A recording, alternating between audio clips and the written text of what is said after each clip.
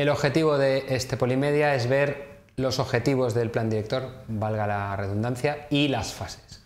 Los objetivos, desarrollar las instalaciones físicas del aeropuerto, desarrollar el uso del suelo que rodea el aeropuerto, es decir, esto se va a usar para esto, esto se va a usar para esto otro, determinar qué efectos va a causar la construcción del aeropuerto y su operación en el medio ambiente. Son dos fases que van a tener efectos, porque al construir pues vamos a generar polvo, a haber ruido de obra y luego al operar pues va a haber otras actuaciones y hay que establecer cuáles van a ser los efectos y proponer medidas correctoras y por último establecer cómo se va a acceder al aeropuerto y qué hay que hacer para acceder al aeropuerto. En cuanto a las fases de la configuración del plan de director. Primero estableceremos los requerimientos del aeropuerto, luego seleccionaremos el emplazamiento, haremos un plan de configuración inicial y por último un plan de financiación. Esto lo dice la FAA, que es una de las entidades que han eh, generado literatura sobre el tema. Bien, la fase 1, requerimientos. Pues tenemos que inventariar toda la información que nos pueda ser necesaria, de datos de tráfico anteriores, de datos que hay sobre el terreno, de planos, etc.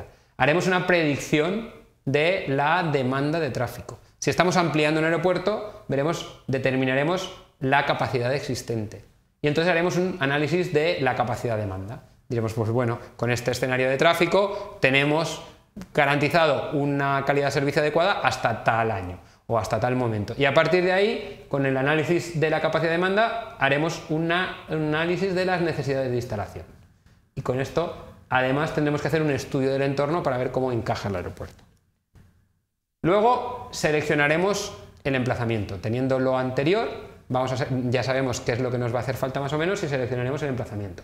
Veremos el espacio aéreo disponible, qué obstrucciones hay, qué impacto en el entorno y naturaleza circundante tendremos, em, cómo estamos emplazados con respecto a las áreas generadoras de eh, transporte aéreo, o sea, si estamos cerca de polígonos o cerca de ciudades, que, al fin y al cabo van a ser los que nos van a generar el, tráfico, a menos que sea un aeropuerto hub, que lo que queremos es gente que llegue en avión y se vaya en avión.